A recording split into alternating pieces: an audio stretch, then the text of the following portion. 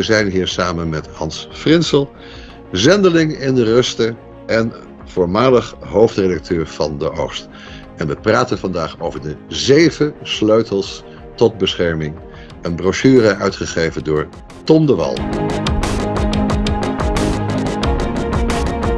Wat uh, mij in de eerste instantie opviel, uh, toen ik de brochure van Tom de Wal las, was dat hij een heel scherp onderscheid maakt tussen lijden door ziekte, lichamelijk lijden door ziekte, en lichamelijk lijden door vervolging. Dat hij zegt, kijk, dat, e-, dat, dat eerste, dat hoeven we niet te accepteren, dat mogen we niet accepteren. En het tweede, ja, dat is het lijden dat kan komen van een christen.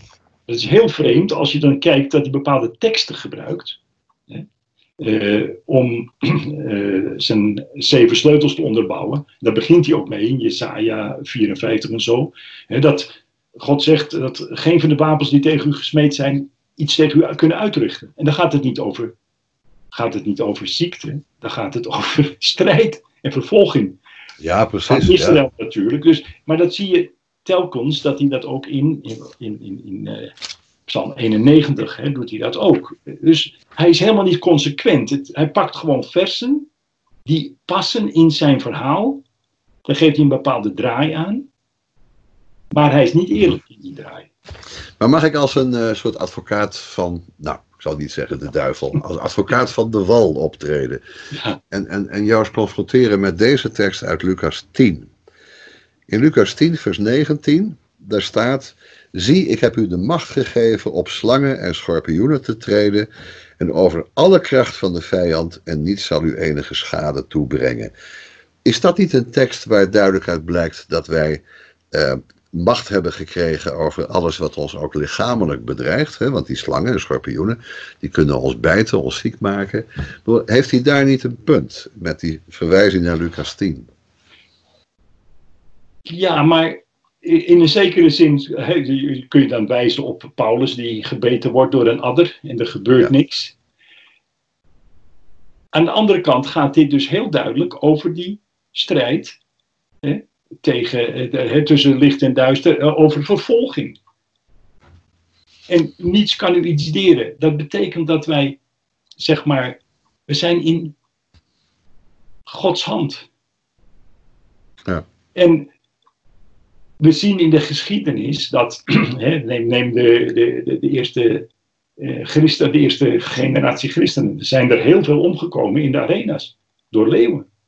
En waren dat dan mensen die niet begrepen hadden wat de Heer Jezus gezegd had? Ja, dat zou hier niet mee uh, in overeenstemming zijn. Zou hier niet mee in overeenstemming ja. En niets kon, zij gingen daar, zeg maar, zingend in. Hè? Het deerde hen niks. Hè? En dat was juist wat zo'n indruk maakte op de mensen. Mm -hmm. Maar Ton de Wal zegt zelf dat wij wel vervolgd kunnen worden. En dus ook, zeg maar, gedood kunnen worden. Dus hij, ja, hij spreekt zichzelf daar in, in zekere zin tegen. Dus jij zegt, uh, uh, ons wordt niet toegezegd dat er geen lijden zal zijn, mm -hmm. maar dat lijden moet je niet beperken tot het lijden van de vervolging. Dat is in wezen alle lijden, ook het lichamelijk lijden dat we zouden kunnen hebben met een ziekte. Ja, kijk, kijk maar naar Paulus, die, die verbindt op een gegeven moment zijn lichamelijke lijden, heel duidelijk, ook met zijn bediening. Hè? Uh, de doorn in het vlees, daar wordt natuurlijk wel over gediscussieerd, was dat nou lichamelijk? Ik denk het wel. Uh, sommigen die willen dat bestrijden. maar goed, hij had ook problemen met zijn ogen. Ja. En het was ook de reden dat hij daar bij de gelaten kwam. Dat hij daar als het ware moest blijven. Ja, ja. ja, ja. Hij, hij, hij, brengt die dingen steeds in, uh, in relatie tot zijn bediening. En denk aan de andere, alle de andere dingen die hij leed. Het was, schipbreuk was niet zozeer vervolging. Uh, moeite, slapeloosheid, noem maar op. Allerlei dingen die hij meemaakte vanwege zijn bediening. Maar hij zegt telkens dat dat, dat lijden een functie had. Ik moet dan denken aan, aan 1 Korinthe 4, eh, 1, nou, aan Colossense 1 vers 24. Daarom verblijd ik mij om hetgeen ik om uwentwil leid. Ja. Ja. En dan zegt hij zelfs wat nog ontbreekt aan de verdrukkingen van Christus. Is het werk van Christus dan niet vol, volmaakt? Natuurlijk wel. Alleen het moest gepredikt worden, het moest zichtbaar gemaakt worden. In, en het lijden, hè, vroeger hadden we die uitdrukking van uh, het bloed der martelaren is, is het zaad der kerk. Dat gebruiken we niet meer. Maar dat is wel wat je ziet gebeuren in landen waar vervolging is. Ja, ja, ja. ja. Daar is echt het, dat die, die opoffering en dat bereidheid om te lijden voor Christus is wat, wat juist heel vaak indruk maakt op de omgeving. Meer nog, denk ik, dan vermeende wonderen en tekenen.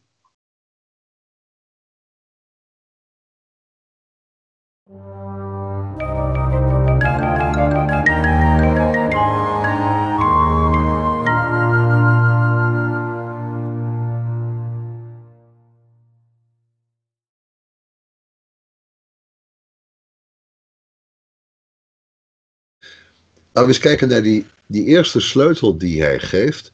Hij zegt dan in ieder geval dat uh, je pas in aanmerking kunt komen voor Gods bescherming als je wel op een hele bijzondere wijze dicht bij God leeft. Hè? Je moet God als je schuilplaats en je woning maken. Uh, ligt het niet voor de hand om te denken, ja, God wil toch uiteindelijk vooral beschermen wie bij hem zo nabij leeft, hè? die echt als een kind toevlucht tot die vader zoekt. Heeft hij hier niet toch een punt? Het is voor ons natuurlijk altijd belangrijk dat we dicht bij God leven. Want dat is een open deur, dat is een open deur in trappen eigenlijk. Daarom vind ik dat een beetje een vreemde sleutel. Maar eh, ik denk ook dat het de genade van God beperkt. Zoals hij dat eh, brengt. Want hè, hij doet het regenen op goede en op kwade. Ja, ja, ja, ja. Uh, en dat is natuurlijk een, een heel, heel, stukje algemene genade. Maar ik denk ook dat je ziet zo vaak dat mensen uh, die soms ja, toch wat uh, zwak zijn geworden in hun geloof en in hun nood bidden, dat God dat gebed verhoort en ze uitredt. Ja. En dan hebben ze niet een hele, de hele week uh, stille tijd gehouden, om bij wijze van spreken. om te zeggen, bij wijze. Dus ja, het is een hele vreemde sleutel. Want je zegt eigenlijk van, als je maar heel dicht bij de Heer leeft, dan krijg je dat. In aanmerking komen, dat is ook een hele vreemde uitdrukking daar natuurlijk.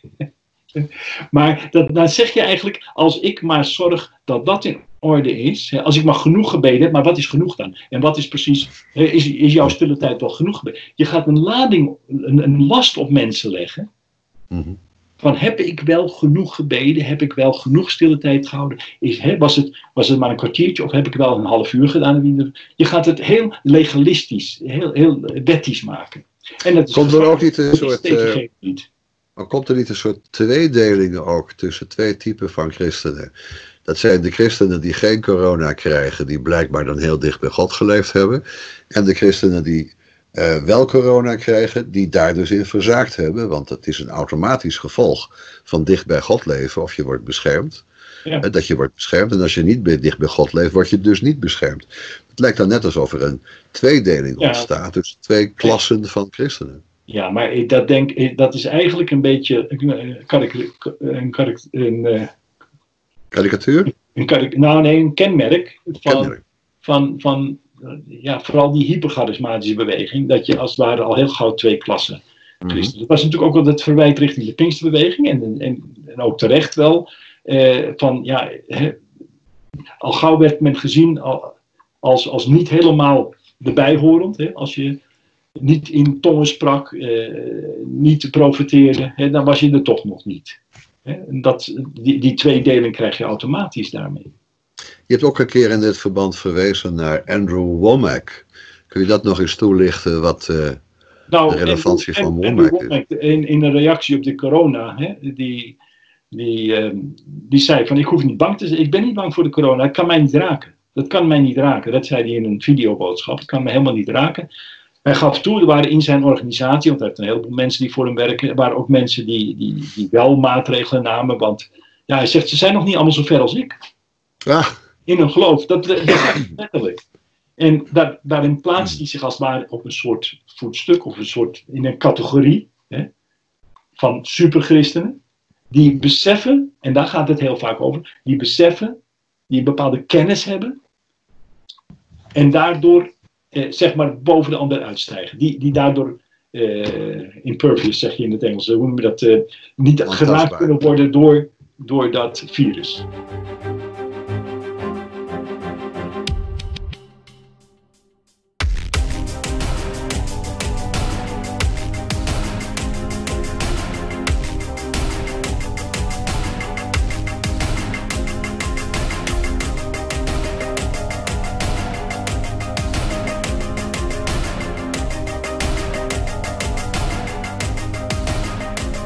Tweede sleutel van uh, Tom de Wal, eh, kort samengevat, je spreekt en proclameert Gods bescherming.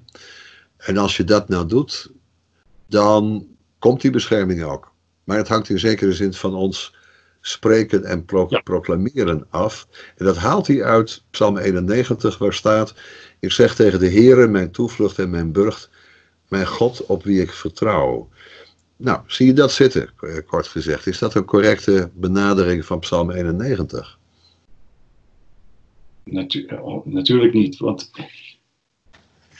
in ons gebed, hoe vaak zeggen we niet, Heer, ik vertrouw op u. En dat is niet een, een proclameren, dat is in een vertrouwelijke relatie met God uitspreken ja, je, je, je liefde, je, je, je, je vertrouwen op hem uitspreken. Dus daar bedoelt de psalmist absoluut niet mee dat hij iets proclameert om iets gedaan te krijgen van God. Nee, nee, nee. Dus het is geen, en het is ook geen, het is ook geen bevel, het is, het is, hè, het is gewoon een, een spreken tot God. Maar hij zegt dus, als wij die woorden uh, proclameren, dus laten we zeggen, we slingeren die de wereld in met de zekerheid dat God gaat doen wat hij zegt, dan zal het ook pas gebeuren. Dat lijkt er toch op alsof wij een soort van macht hebben om Gods woord zelf en zelfstandig te gebruiken. En, en ja, God moet dan maar zich aan zijn eigen woord houden zodra wij dat zeggen. Ja, nou dat is natuurlijk ook het hele, de hele gedachte achter het de word of faith of de, of de word faith leer, hè? het woord van geloof. Eh, zoals Kenneth Hagin dat eh, bijvoorbeeld bracht, die zei ook van kijk, de woorden die wij spreken, die hebben kracht. Dat is een universeel principe. Hij zegt dat is ook waarom New Agers ook een zekere mate van succes hebben, want die beseffen, die, kennen dit principe. Dat zegt hij in zijn boeken. Hè? En eh, dus als je wat spreekt, dan gebeurt het. Dus ja, ja. het gebeurt zoals uh, uh, Dr. Walter Martin, die hier ook al over commentaar heeft gegeven. Uh, Walter, Walter Martin die zei van kijk, het is dus niet dat God dan wil horen of wil antwoorden, hm. maar dat God moet antwoorden. Ja, ja, Het is een universele wet. En wat zij eigenlijk leren is dat God onderworpen is aan diezelfde wet. Ja, ja. Dus als God spreekt, gebeurt het. Het komt eh, tevoorschijn. God sprak en het was er. Hm? Mhm. En zo, zeggen zij, dat werkt op, die, op, op deze manier ook voor ons. En dan halen ze een vers aan waar staat: heb, het geloof, heb geloof in God. En dat vertalen zij met: heb het geloven van God. Ja, ja, ja, ja. Omdat die constructie in het Grieks, die kan je zo eventueel vertalen. Dus ze zeggen, je moet hetzelfde geloof hebben als wat God heeft. Mhm. Dus ze zeggen in feite, God heeft geloof, die beleidt en het wordt. En hij heeft ons naar zijn beeld geschapen als kleine goden. Als wij dus wat zeggen, dan komt het ook eh, tevoorschijn. Mhm. Want het is hetzelfde principe, we zijn aan dezelfde universele wet onderworpen. Ja, ja, ja, ja. ja. Het maakt ons gelijk aan God. Mhm. Het is natuurlijk ja, baarlijke onzin om te zeggen van dit, deze uitspraak in, uh, in, in, Psalm 91, uh, eh, die moet je zeggen om dat te krijgen. Het is mhm. God die zegt, ik ben je toevlucht. Ja. En dan mogen wij zeggen, Heer, u bent mijn toevlucht. Mm Wij mogen ons vertrouwen op hem stellen. Ja. Ja, dat klinkt toch heel anders dan dat wij machtwoorden spreken, hè? vertrouwen op de Heeren stellen. Uh, is echt een heel ander soort van houding tegenover God zelfs, denk ik. Hè? dit, dit klinkt bijna inderdaad alsof uh, God zijn macht met ons gedeeld heeft om naar believen mee te doen wat we zouden willen. Um, en in principe leren ze dat ook. Ja, ja. Ze dat. Kijk, Esther Kenyon die zei, heb geloof in je geloof. He, toen hij dit principe uitlegde. Dus je moet vertrouwen hebben niet in God, je moet vertrouwen hebben in je woorden. Dat als jij wat uitspreekt, dat het ook gaat gebeuren. Mm Dat is natuurlijk puur, uh, zeg maar, uh, de, de, de New Thought leer uit de 19e eeuw. Het was een occulte leer, het, uh, gebaseerd op, op Oosterse mystiek. En mm. van daaruit, dat, dat heeft ook Kenyon diep uitgeput. Dat is ook gewoon aantoonbaar in zijn, in zijn achtergrond, in zijn boeken. En Hagen heeft dat van Kenyon overgenomen. Zozeer zelfs dat hij, zoals Don, Dan McConnell in zijn boek zegt, uh, zelfs plagiaat gepleegd heeft op het werk van Kenyon. En zo is dat, zeg maar, de charismatische beweging ingekomen. En denk, je dat, uh, Tom de Wal dat, uh, denk je dat Tom de Wal dat ook van deze Amerikaanse leraren heeft overgenomen? Of zitten er nog schakels tussen? Um, ik weet niet precies Ton, wat Tom de Wal allemaal geleerd en ge, gelezen heeft. Ik weet wel dat die boekjes van Kenyon, en van bijvoorbeeld Hagen, Kenneth Hagen, die zijn allemaal in, in het Nederlands, de meeste zijn in het Nederlands uitgegeven. Het zijn allemaal hele kleine, dunne boekjes, eh, makkelijk toegankelijk daarom. Eh, en ook niet, zeker die van Hagen, zijn beslist niet erg diep, om het zo maar te zeggen. Nee, nee, nee, nee. En die zijn uitgegeven door Maasbach in der tijd. Eh, in, in, uh, Maasbach uit, Johan Maasbach uit Den Haag. Die heeft al deze leringen eigenlijk naar binnen gehaald. In het begin had dat maar een hele beperkte verspreiding in de Pinksterbeweging, want er, waren ook, eh, er was ook genoeg tegenwicht, dat, hè, mensen die daar niet in meegingen. Uh, mijn vader was daarin uh, ook een hele belangrijke figuur in, die, die, die dat buiten de deur wilde houden, want die zagen de gevaren hiervan en ook de onzin. Mm, mm. En een heel belangrijke, wat, wat zij deden dus, is zeggen van ja, is er dan nog wel een onderscheid tussen het woord van God, de Bijbel, en, en, en wat wij dus uitspreken als mm. woord van God? Uh, daar, heeft, daar heeft men de, wat dan de Rema-leer genoemd wordt, heeft men als het ware als een, als een fundament daaronder gelegd. Dat is heel belangrijk geweest in deze beweging. Dus men maakte een onderscheid tussen het woord logos en Rema in de Bijbel. En ze zeiden, kijk, logos, dat is het, hè, het universele, het, het, eeuwige woord van God. Maar rema is dat wij het nu-woord van God spreken. Die, kijk, wat de Pinksterbeweging heeft nagelaten. Kijk, de Pinksterbeweging had natuurlijk een, paar flinke weeffouten in zijn theologie zitten. En die, maar doordat ze die weeffouten daarin hadden zitten, hè, dat, dat, dat initial evidence en dat, dat zo scheiden van die vervulling met de Heilige Geest eh, van eh, de bekering, eh, hebben ze een heleboel dingen, hebben ze moeite gehad om een hoop zaken, zeg maar, buiten de deur te houden. En ook af te keuren. Dat hebben ze wel gedaan toen bij de New Order of the Latter Maar dat hebben ze bijvoorbeeld, ze hebben wel een heel aantal van dat soort mensen laten functioneren binnen hun gelederen. veel van die, van die genezingsbewegingen, genezingsbedieningen. Mhm. En wat je dus ziet eigenlijk, is dat ook, ook met die New Order of Lateran, dat hebben ze scherp veroordeeld. En toch heeft het door kunnen werken. Het heeft natuurlijk ook te maken met, de, met hun, hun vorm van kerkorde, die natuurlijk, iedere gemeente was ook weer autonoom. autonoom ja, ja, ja, dus je ziet dat ofschoon ze daar tegen waren, dat lokaal nog wel door, kon werken. In eerste hmm. instantie leek die New Order of the Lateran helemaal te verdwijnen. Maar het heeft hier en daar gewoon doorgeleefd. En dat is, hmm. zie je met de opkomst, wat ze dan de tweede golf noemen, zie je dat als het ware terugkomen. En in de derde golf is het echt helemaal geëxplodeerd. Ja, ja, ja, ja. ja.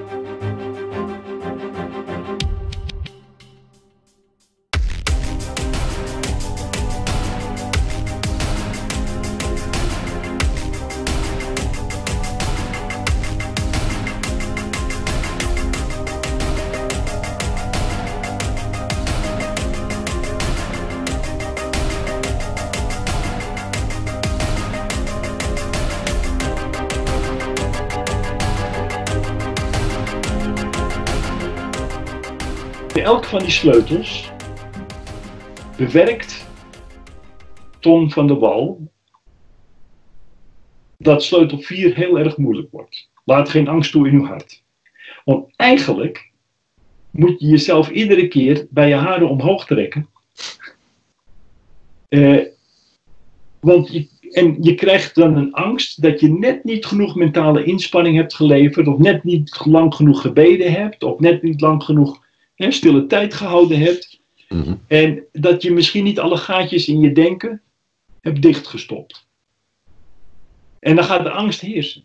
Hm. Want dat is een hele, hele kleine, een hele dunne lijn tussen absoluut geloof en angst. Want eigenlijk wat hij iedere keer suggereert, is dat je met een heel klein beetje, heel klein beetje angst of een heel klein beetje nou, twijfel of wat dan ook, Mhm. eventjes je gedachten loslaten, dat het dan misgaat. Dat God zal je beschermen eh, als je echt 100% alles in orde hebt. Maar als er maar een klein gaatje zit, dan laat hij je vallen. Dat Dus stel, de, stel dat, een, dat een kind van, nou laten we zeggen, een jaar of zes, plotseling heel angstig wordt voor donder en bliksem. En die komt uit zijn bedje gekropen. En die gaat naar zijn vader in de huiskamer en die zegt: Papa, ik ben zo bang, want die bliksem, eh, die bliksem is zo dichtbij en het dondert in mijn kamer. En wat zal die vader dan doen? Dan zou hij misschien wel op de manier van Tom de Wal zeggen: Ja, horen, ik heb je gisteren uitgelegd dat die bliksem ons niet kan raken, want we hebben een bliksemafleider en jij zit veilig in je bedje. Dus roep al op. Ja, En dan komt die andere zoon, die is ook bang, maar die zegt dan tegen die vader: eh, Lekker weertje, hè? En dan zegt die vader: Jij bent een goede zoon. Is dat Nou, ongeveer zo zoals hij het zich dat voorstelt? is, dat, dat, dat, dat is inderdaad eh, wat er van mensen gevraagd wordt. Ja. Dat is ook waarom, eh, wie was het, een van deze eh welvaartsleraren, een van die genezen, die zegt, die wilde ook nooit horen. als mensen zeiden van, joh, voel je niet lekker, dat, dat wilde die niet horen. Dan ga je dat denken. Hè? Dus men wordt heel erg bang, men gaat zich helemaal afsluiten. Daarom mocht je ook niet toegeven aan je symptomen. Maar hoe zou dat nou gaan als die mensen aan elkaar vragen: Hoe gaat het met je? En je zou moeten melden: van, Nou, ik heb een beetje een rare dag vandaag. Ik heb de hele dag buikpijn. En Dan dat zou je niet dus- eens durven zeggen. Ja, maar als je de boeken leest, dan, dan leren ze ook. Dan moet je absoluut niet zeggen dat het niet goed met je gaat. Nee, nee, nee, nee. Want dan geef je toe aan de symptomen. Symptomen zijn leugens van de duivel. Ja? Eh, Dat kom je telkens weer tegen in de, in, de, in de literatuur van deze mensen. Mhm. Symptomen zijn leugens van de duivel. Die moet, daar moet je dus niet in meegaan. Ik heb vorig jaar, ik werk veel nog in Guinea-Bissau. In Guinea-Bissau een hele goede oude vriend verloren. Door deze leer. Hij was helaas ja, hierdoor in, onder, onder invloed geraakt van dit soort eh, bedieningen. Dat is op het ogenblik echt rampend, hoe noem je dat? Eh, eh, heel het is, een vloedgolf in Afrika, dat Welvaartsevangelie. Was daar onder de indruk van geraakt. Is dat helemaal gaan volgen. Heeft suikerziekte. Kreeg te horen van ja, hè, je moet je symptomen als het ware ontkennen. Je moet gewoon staan op die belofte. Als je, maar, als je het helemaal pakt, dan moet dat kunnen. Mhm. Nou, zijn medicijnen opgeruimd. Hij heeft, eh, hij had een zoon in Portugal. eh, die, stuurde, die was ongerust toen hij dat hoorde. Die heeft de medicijnen gestuurd weer voor zijn, zijn eh, suikerziekte. En die kreeg hij. Toen was hij. Dat wilde hij niet eens zien. Heeft ze meteen zo weggegooid. Want ja, op het moment dat hij als het ware toegeeft van die medicijnen. Die kunnen mij helpen. Dan is dat een negatieve beleidenis. Hè? Ja. En dan met je gedachten en met je woorden zou je dan eigenlijk je eigen eh, ondergang weer bewerken. Dat heeft ze weggegooid en een paar maanden later was hij dood. Jongen, jongen. En dat deed mij heel veel verdriet, want het was een hele goede vriend geweest. Ja, dat kan ik me voorstellen. Dat is natuurlijk vreselijk om zo mee te maken. Maar eh, hoe heeft nou de omgeving van die vriend van jou gereageerd? De mensen die hem dan ingeprent hadden dat hij het zo doen moest. Komen die dan niet tot een soort bezinning? Eh, ik ben bang van niet, maar ik, ken, eh, ik, ik, ik ben daar niet bij geweest. Het Nee. is, ik hoorde het van de, de, de voorganger eh, pas en die, die dat mij vertelde dat het gebeurd was. Ik wist dat hij die verkeerde kant op was gegaan, maar Hoe daarop gereageerd is, weet ik niet. Maar meestal reageert men met, met, met een stuk ontkenning. En men sluit zich daarvoor af. Men wil dat niet weten. Dat is net zo goed als met al die valse profetieën. Ik ken, ik ken van twee gevallen waar mensen door een valse profetie de dood in zijn gegaan. Zo. En daarna wil niemand daar wat over zeggen. Mhm. Ja, behalve mensen die zeggen, jongens, dat is fout. Ja, ja, ja, ja, ja, ja. Maar degenen die daarin geloven en die daarbij willen blijven, die, dus daarom zijn ze ook nooit ter, ter, ter verantwoording te roepen. Men ontkent, men, men sluit zich ervoor af. Want er is er altijd wel iets mis geweest met degene die, die dus die profetie had gekregen en die daarna gehandeld heeft. Misschien heeft die persoon iets, niet, niet geloofd of, of, of iets verkeerds gedaan. Het, ligt altijd aan de ander, het ligt nooit aan de profetie.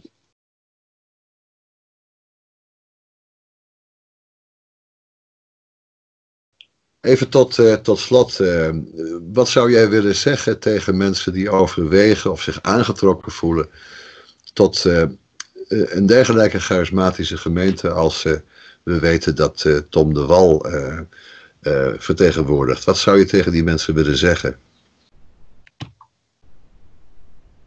Dan zou ik willen zeggen, laat je waarschuwen door Gods woord. En ga eens kijken wat God zegt in zijn woord over de laatste dagen, voor de terugkeer van Christus. Het belangrijkste teken waar hij op wijst, of de tekenen waar hij steeds weer op wijst, in Matthäus 24, wat hij het meest noemt, valse profeten, valse leren, eh, valse Christus, valse gezalfden. Paulus wijst erop, hij zegt in de laatste dagen, zal er uh, zullen mensen de gezonde leer niet meer verdragen. En ze zullen hun oor uh, lenen aan allerlei valse leringen. En dat is wat we nu zien gebeuren. Dus mensen wees voorzichtig, gaan naar Gods woord. En vertrouw op Hem. En niet op wat mensen ineens hebben uitgevonden als de laatste waarheid. Die ze dan ook nog brengen met die autoriteit die ze claimen direct van God. Gods woord, dat moeten we, daar moeten we naar terug.